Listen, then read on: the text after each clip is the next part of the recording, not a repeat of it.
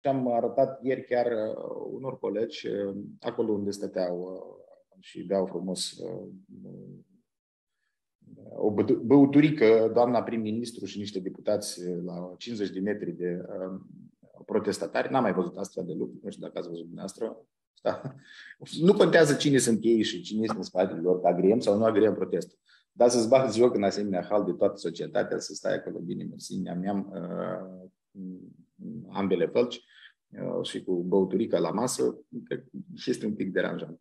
În fine, deci chiar în zona adiacentă era foarte mult îmburdărie. Astăzi nu mai este.